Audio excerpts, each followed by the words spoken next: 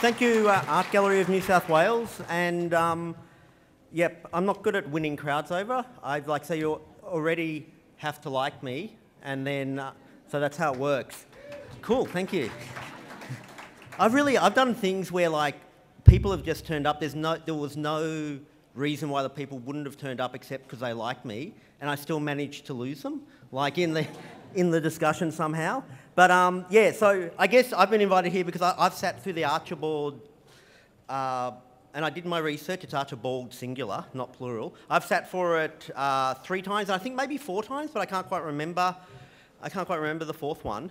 But um, the last time was for 2009 for this girl called Yvette Coppersmith, and it was I met her at this Kabbalah evening, and so it was like this kind of guilt because she was part of the same community as me. So I sat for it, and and she was kind of I thought she was good. Like, like I sat through because I thought she'd actually done like proper paintings, like for like magistrates in the courts, and so I thought if someone's got to do that, they must be good. Anyway, so she painted me, and she did like these like sketches of like different things. I sat for hours or whatever, and the the, the only thing that annoys me, which is like just everything about the picture, is that I.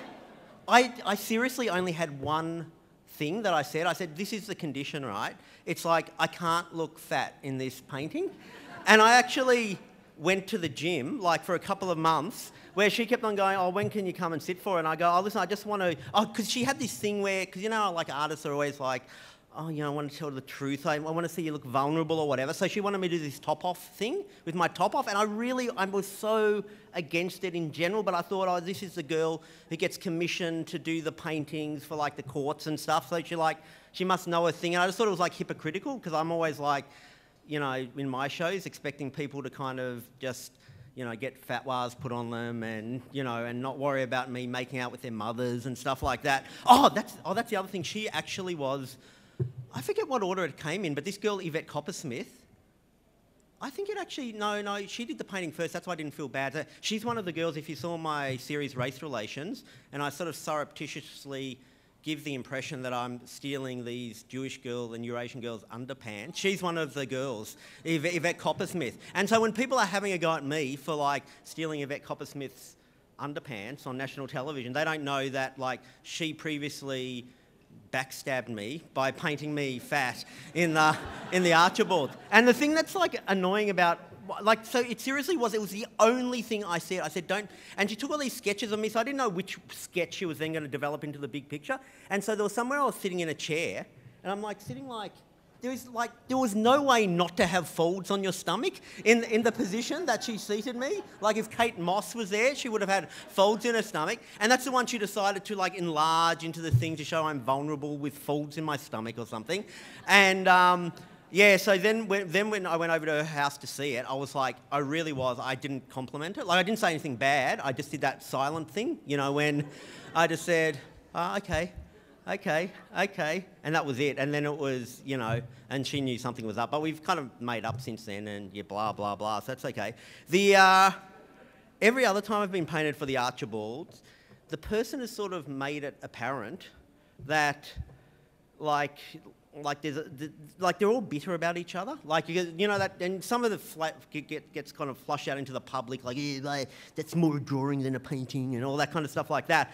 But they're all like like they're all just really bitter, like the other people, like where it's like, well, why did that get chosen and not mine? And and and and also the, the other thing, everyone else who's painted me has made it quite apparent that that both they're really just painting me because like you know I've got a name, and secondly they probably asked someone before me, and I was. like they, you know, they contacted Roy and HG, and then sort of like I was next down, and they're, they're, but they are really and when I sit there, because I kind of like hearing about the bitterness in all the different little industries and stuff like that, because all industries just have this sort of like real cattiness. And yeah, it's absolutely there in the when you're being um, painted for an Archibald. Now, um, I'm going to ask you to ask me some questions. I can just keep on talking if you want, but uh, ask me some questions about my work or anything like that. I've got, I've got some questions here, but like, don't you want to?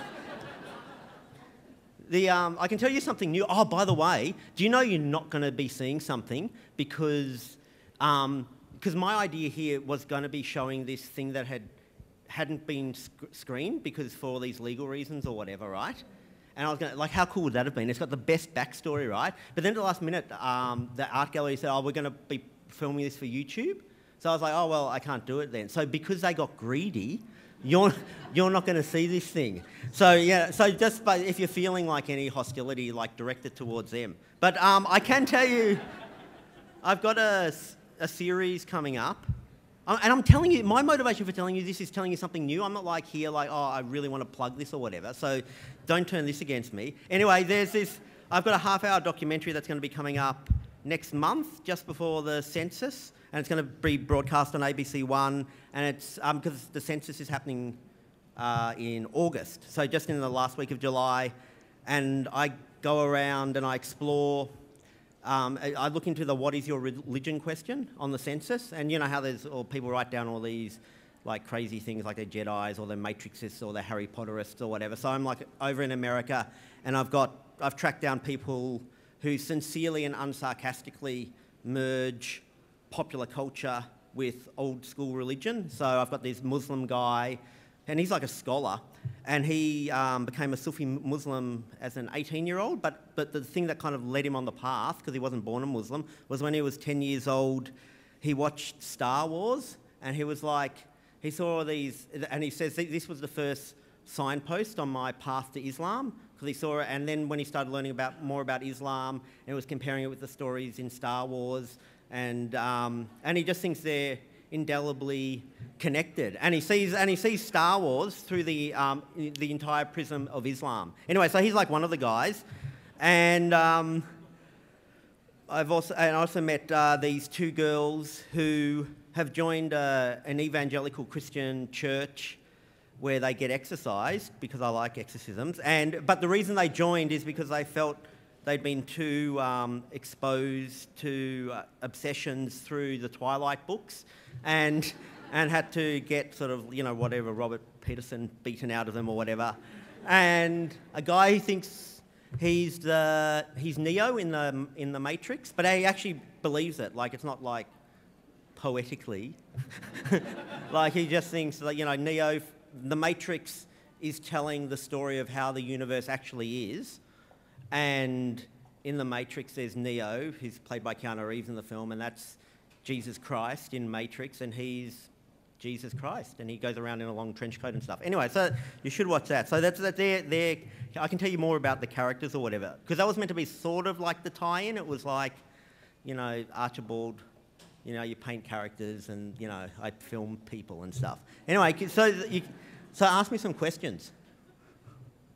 Is it true you have a basement full of the Raspberry Cordial tapes that aren't released? No, no, no. The um, yeah, no, he's referring to.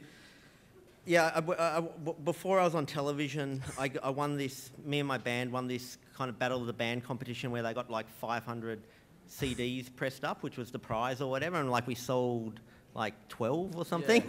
Well, they're really bootleg. It's like it's, yeah, it's, yeah. And then like when Shock Music, I think when they were like going out of, or well, they were clearing out their warehouse, like they made a phone call about telling them that they were, they were crushing them.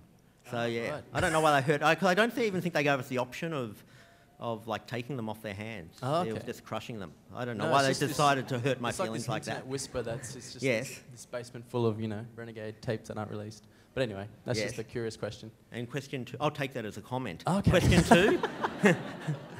and um, I guess question two is how much truth was there behind the exorcism in um, uh, Versus God? Well, he like uh, he so he either hypnotized me or exercised me. So I don't, I don't know. Oh, okay. yeah, so, yeah, I was it just ends out on such a you know note. I'm sure you've been asked that before. So. Yeah, yeah, yeah, yeah. But you know, I don't. In, he's he's in my new show. Great. Um, Bob Larson, The Exorcist. I go back to him because he was a good character. no, it left us in a big cliffhanger. Sure. It was great. all right, that's it. Are you able to tell us at all what the clip was about that you couldn't show? Well, you saw, I, I, can, I can only tell you kind of blandly and broadly, but basically legal action and and uh, yeah, I, I sort just in the broadest brushstrokes, we uh, sort of uh, interviewed this white supremacist and in Mississippi and after we thought we got away with it, but then after we left, and we sort of knew this before, but he was also he was an attorney as well as a white supremacist. Yeah, so we were like high fiving ourselves as we got on the plane outside of Mississippi. But then once we arrived back in Australia, there was like a big pile of you know legal action and stuff like that. Yes, so not good. But I will. Part of the reason I can't tell you is because I'm going to be telling it in another form at some point. So yeah, just ha- hold on. Um, you've done a number of shows about religion and you've got a show with Father Bob. I'm Yeah. interested in why you personally are interested in those sorts of questions. Why, why for you is the study of religion interesting or what is it about it that appeals to you?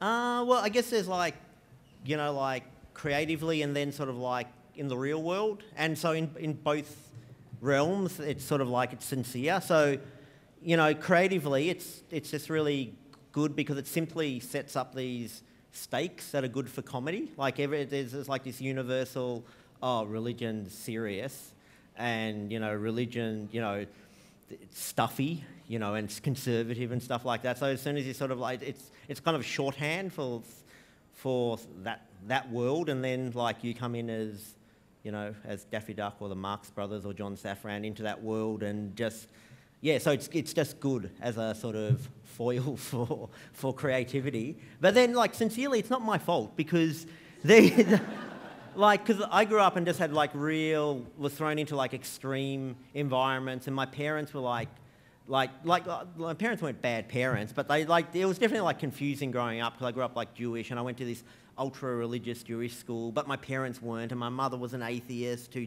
And my grandparents didn't hated religion, and even though they were Jewish, and but they loved the Yiddish language. So it was all like this mess and confusion, and and it was sort of like it's all it all got into me by osmosis. I wasn't really that interested, even like in religion, but I didn't hate it or whatever. But I just went to this ultra orthodox Jewish school for like five years for like all of high school, and I was just like I was pretty cool with it. I just didn't think about it either way really. I was just like into rap music, and and so I just spent five years being obsessed with rap music. And then, but then once I left school, I realised somehow it all soaked into me and all the confusion. But the, the one thing that used to always mess with my head because I, my parents also sent me to Sunday school at a young age. And I remember like being six and walking home from Sunday school and just being totally screwed up by the whole. Because we learnt that on the first day God created, you know, the heaven and the earth or whatever, or light. God created light, and then I was just like, oh, yeah, but what happened before that day?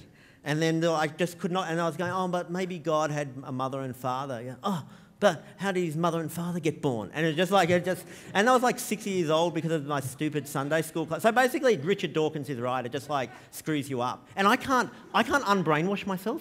I like, I really want to. I know it's like all ridiculous, right? But I'm like brainwashed. No, I'm not like brainwashed specifically like with one, like Judaism or whatever. But like, for instance, I'm definitely, when I do something wrong, I think I'm going to get punished beyond all logic. Like if I was like an atheist, it'd be like, oh, I've done that bad thing, but I I didn't get caught, and now it's two weeks later. So, you know what I mean? I should be fine, but I'm always like convinced like bad stuff, and th- there's no other reason for that besides I've been brainwashed into yeah religion or mysticism or something.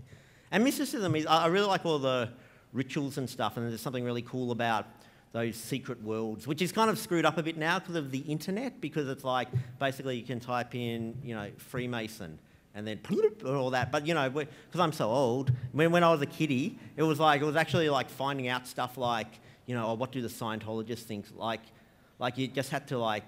It was like, oh my God, what's going on behind that Church of Scientology building? You know, like, and me and my friends, and we go, oh, let's go in and do the free personality test, and like, we'd go in there and go, go crazy, and like, I, and we'd come out giggling. I was going, I wrote down that my name was Henry Rollins, and stuff like that. And I wrote down your address, and stuff like that. It was like so exciting. And and in Melbourne, there's all these like weird, like tiny bookshops that, like, when I was young, I used to like just used to freak me out? Because again there was like no internet so there was this one my and my dad used to always um, mess with my head not mess because my dad was like interested in all this stuff so he'd be like we'd be like at a bar mitzvah party and he'd go oh see that guy over there with the see his tie?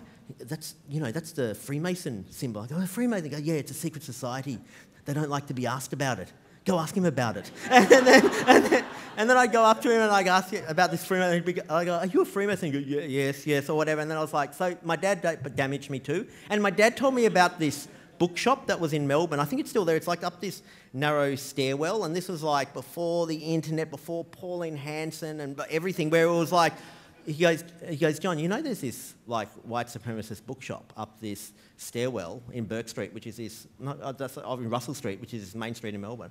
And I go, what, what, white supremacist bookshop, what? And then he, he goes, yeah, yeah, you go up this stairwell and you kind of, you go in there and there's like just a small room. And he was right, I don't know how he knew about it, except if my dad's a secret Jewish Klansman or something like that. But I, and then I sort of like, yeah, so I went up, I, it was like after school one day and I like waited outside, like heart beating. And then I like, finally snuck up and went into this room and it was, there was this little bookshop there with all these like photogra- uh, photocopied kind of racist stuff. It was like I'd never seen anything like before. And I, like I bought this Secret of the Freemason book and then left. And yeah, so I was just, I don't know, that's, that's, my, that's why I'm screwed up. I just wanted to ask, you know, when you went to visit the Zen monastery and you were speaking with the, he gave you a question, who am I or who are you? And Yeah. how long did you have, for two, two questions, Yeah. how long did you have to think about that? Yeah. And also, uh, how long did you actually spend at the monastery for the whole filming thing? Like, how long did Um, that take?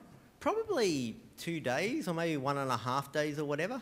But um, it seemed really long. But it was the, the whole confusing thing with like filming stuff, especially if like like people have like they speak English but it's slight slurring or whatever. Like you're talking to them for an hour and I was like, I didn't even quite understand everything that was going on. And then when you cut it together and you put those yellow SBS subtitles, like it all makes sense or whatever. But I was like, most of the time I was there, I was just like not, I was like confused, like not really knowing what was going on. And like, but um, he didn't give me that much time to think. And, and it, it always becomes confusing when you're like filming it too, because it's like you can't disconnect it and, and you know, you're on such a tight schedule or whatever. And I do, but what I do remember about the, that temple is I was sitting there meditating, like, and in this thing, and they, they were filming me. I was closing my eyes, and I was trying to. I was in my head. I was going, "Oh, I'll give them different options." So I'm like going, mm, and then, mm, mm. and I'm like trying to give that like more intense, less intense, because like sometimes things look stupid on camera. I can't figure it out because I can't see myself. I'm just like going on for about 15 minutes with these different. And I open my eyes, and like they left, and they. And I was like furious because I'd actually been like partaking in the ritual without being filmed. So it was like the Buddhist if a tree falls in the forest, if you film yourself doing a ritual but aren't being filmed, have you really been, you know, filmed? It was like that, yes.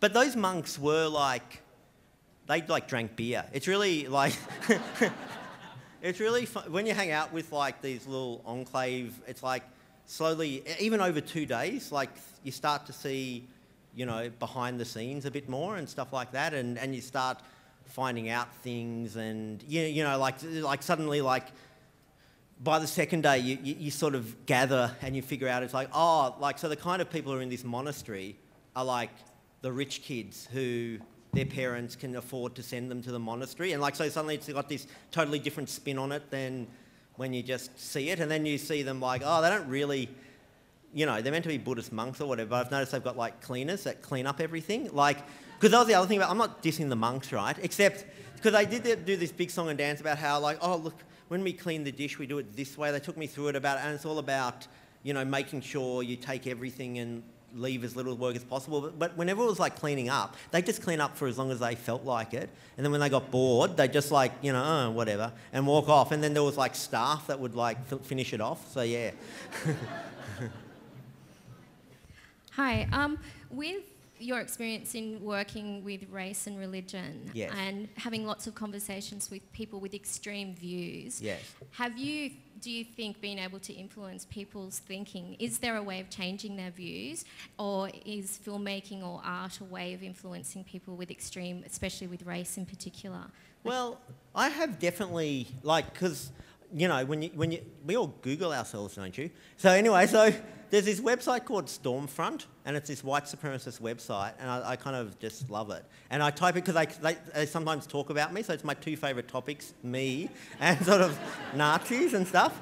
And I did see on that one time this guy say, like on a message board, he goes, "Oh, I'm really confused because I kind of." Do know what you sort of are saying about the Jews and the banks and stuff like that. Like I get it, but, but I kind of really like John Safran. And so, so he was like a white supremacist who was torn. And then the, because of me, but like does the Jewish community thank me? No. They just, they just, they just complain because I'm getting nailed to a crucifix and stuff. So the, um, and there was, there was, uh, but you, no, I don't think you can really change their minds that much. They're pretty stuck in their way. There was one of the guys who was at the when I went in to try to join the Ku Klux Klan, and then told them, oh, because I, I, did this whole thing of like, listen, I know. I didn't tell them I was Jewish, obviously, before I went. But then when I got there, I sort of brought up, like, just casually, that I was Jewish, and then acted all naive, like, because I was like, oh, listen, but I don't do anything Jewish anymore. You know, like, I, I haven't been in a synagogue since my bar mitzvah. I, I, I, eat pork. I drive on the Sabbath. Like, like if I don't do anything Jewish, why can't I join the Klan? And anyway, so one of the guys who was there, like I saw like years later, I hear him on a message board writing, going, "Oh, I was there when that happened or whatever," and, and I watched it. Oh yeah, it was pretty funny, pretty funny. So yeah, I think that's the most you can get out of. Uh, yeah, you can convert them into thinking something's a bit funny. So, John, is there any religious group that's on your target list that just hasn't had a bar of you? Like, is there someone, any group that you've been trying to get access to who just you've had no luck? Uh, yeah, yeah, plenty. Because like we kind of throw such a broad net at the very start, so we would have been knocked back by things. I'm trying to think what we would have been knocked back by. I know, and usually the worst bit bit is if you get knocked back because if you actually go in there, they sort of like begrudgingly respect you, like because it's kind of like, oh, well, you turned up and you kind of, you know, like you didn't sneer from the sidelines. But I do remember in in Versus God, we couldn't get access to the Church of Scientology, but I really wanted to do something on the Church of Scientology, so we did this skit. And so I would have happily have gone to the Church of Scientology, but they kind of not cut us off or whatever like that. So then we did this skit, and it, and it seemed a bit like a cheap shot. Like it even seemed like a cheap shot to me, but it wasn't my fault. It was because it was like they wouldn't let us in. So, oh, they, to be fair to them, they did let me in with my previous series where I kind of turned up dressed as Beck at the Church of Scientology because I'd heard that Beck was the Scientologist and blah, blah, blah. But um, I'm trying to think, yeah, we get like knocked back all the time, but it's, it's always a balance because sometimes, usually things that are like these big things in your head when you're writing them on paper, sometimes they end up being the smaller things, and then sometimes something that was smaller blows up into being a bigger thing. So it usually like evens out a bit. So yeah. Anyone what? Uh, yeah, probably. Like for for instance, when I did the Black Like Me episode of Race Relations, where I went undercover as a black person in Chicago, I think ideally in my head, it's like I would have hung. And I remember this, like we're trying to get in with the Nation of Islam, which is like this black militant group. It probably would have made it a bit kind of better or stronger or more valid or something like that. So um, yeah, and I think we just uh, and, and, and often because like there's so many stuff to do, it's like a researcher and a producer working out. So I don't even understand. Often I don't even know how we got into somewhere or we didn't. But I had this weird relationship um, with one of these one of the researchers, and he's really good at like somehow getting us into places. And I don't even ask him any questions because Anyway, and so like it's it's like his role to just to get us into these places, and I don't even know how he does it. And then it's my role to just stay there, no matter how painful it is, until we get like something that we can use, or otherwise it's just too awkward turning back to Australia and we don't have, you know, we've spent all that time and money, you know, trying to do something or whatever. Given the different religions you have seen, but um, would there be any religion that you'd be you'd like to be a part of? Um, yeah, no, I, yeah, I reckon there's, there's ones where I kind of go, oh, it's, it's like different religions have different flaws. Like, I, I don't think all religions have the same flaws for the same, at the same level. So, for example, maybe because of the way the Catholic Church is set up, that, that's more prone, because of the structure, it's more prone to that awful sort of abuse. But then on the other hand, the Catholic Church is less prone to like you know emptying your wallet of money because you know it's pretty easy to you know turn up to any Catholic church for free and you know and there's there's a difference between passing a collection plate out and you know the evangelical Christians or the Scientologists who just really try to empty your bank account. So yeah, so I, I sort of don't think they're all equal. And yeah, equally, like a Scientologist might be worse with money, but might be better with abuse or something. You know what I mean? So.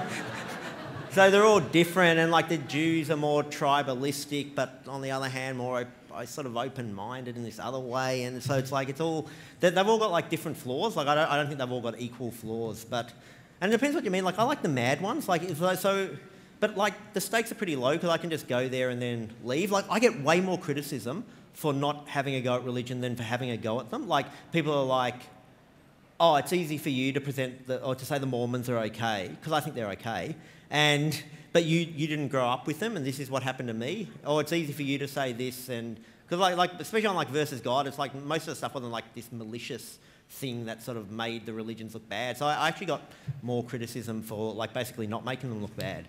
But well, why, what religion do you want to join? I'll tell you if it's good or not. The one, I- like, for example, the Jehovah's Witnesses, I don't really dig. Like, I wouldn't want to be Jehovah's Witness because they've got this whole thing where you, you shouldn't try to impact the world in any way. So, because therefore you're doing, God will take care of you. So, for example, you don't vote because that's making an impact when you should. And that just sounds like not really my cup of tea. And the Amish, they're like, don't even read the Bible that hard because you'll start thinking too much about the questions within it. You know what I mean? So it's like, I wouldn't go for those ones. I actually, I actually, I've done a few, I did some stuff with the Jehovah's Witness for Versus God, but never made it to air. And then we're like driving along, and then the guy got lost, the Jehovah's Witness, and he like pulls out the street directory and stuff. And I was going, oh no, no, don't pull out the street directory, man. You know, God will take us there and stuff like that. And but, he didn't, but yeah, but they didn't didn't end up making it to air. The episode of race relations where you disguise yourself as a black man, Yes, yes, did the yes. people that you befriended end up finding out that you were white? And was there any kind of fallout from that? Well, no, no, there was no fallout from it. Yeah, there, there was there was like, you know, I don't like always like revealing all the magician's tricks and stuff like that. But you know, the, no, some people did, and, and because the questions I, I was asking were so related to, like when I was interviewing people, it was, it was like, so just say when I was at the speed dating, and I'm talking to all these black girls, I'm going, oh, listen, why do you think, do you think people who are black would date better people who are black and who are white. And the, questions were all those really focused. So when they kind of got, like, or smelt a rat, it, it, like they kind of got it, if that makes any sense. Like they'll go, oh, I get it. It's like this guy's, like, whatever. Yeah, so whenever we did get discovered, it just, for some reason, it just didn't have the heat that you'd think it would. I don't know. And I, I think you also, um, you have more permission as an outsider. Like I always find it harder to do things in Australia. Like everything's like way more heated. Like where it's like uh, like like if you were a German documentary crew or um, something like that, or from overseas, you'd probably find it easier to kind of get into like these indigenous communities and do stuff. But they're like really dark on you know, white Australians and stuff. So I, I- I can't explain it, but basically I just did it, and people knew it. Like especially in the in the re- fast food restaurant, people just knew. I can't even explain why, but I promise you, I'm not lying. It just didn't seem that. It just seemed fine. And also the problem, like the thing we did with race relations, which was possibly a creative error, but I don't know. I, I, I stood by it at the time. Was we definitely cut things to make everything look like the most awful thing ever. It was like if there was like a moment that would have somehow given it some slight different, you know, ah, okay, I can I can breathe a sigh of relief and because I know this now. Like we yeah, cutting room floor. So yeah, yeah. But no, no. Basically, we didn't get in trouble. But yeah. Um, I know this is um, probably maybe a silly question to ask considering your bad experiences before, but can I paint you for the Archibald? Oh well, you- know, like yeah, if I, like you sent me something and or whatever. Well, I, this is what I do. This is what I'll really do because I did to this other artist. I'll send it. You know that woman I was dissing before, Yvette Coppersmith. Like, so someone else sent me something saying, "Oh, can you paint me?" And I sent it to her. I said, "Oh, this is this guy. Look at him. Shall I let him paint me?" And she said, "No." So yeah, so basically, like if Yvette Coppersmith says, "You know, you can paint me. I'll paint." You know what I mean? Because I, don't- I don't know this stuff. But yeah, yeah. But yes, John Safran at gmail.com. Thanks. Um, I was wondering, is there anyone you admire or look up to? Yeah, like what, what do you Well, mean? who? Because you know. Like how, how self-involved do you think I am?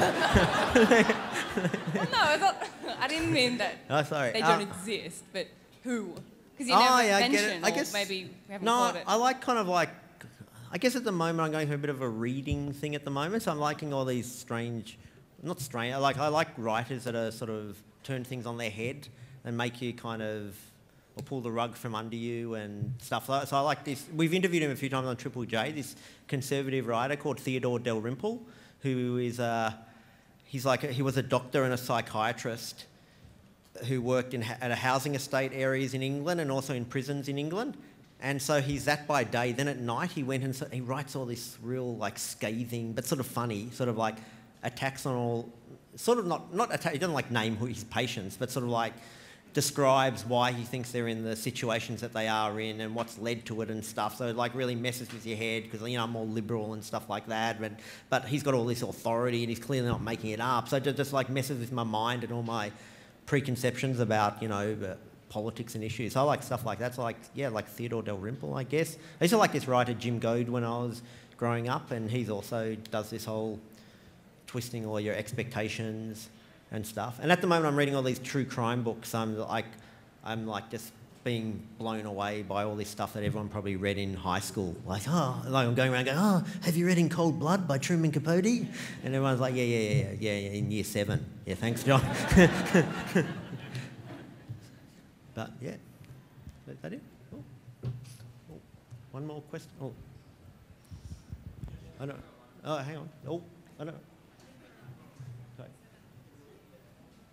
Okay. Well, yeah, I definitely have to wrap up, but I don't mind if you want to ask me the question later. That's fine. Whatever. Yeah, I've got nothing to do. so I'll just like stand there or whatever, and you can ask me your question. Cool. Anyway, thank you very much, and thank you to um, the Art Gallery of New South Wales for inviting me up. It's been fun. Thank you.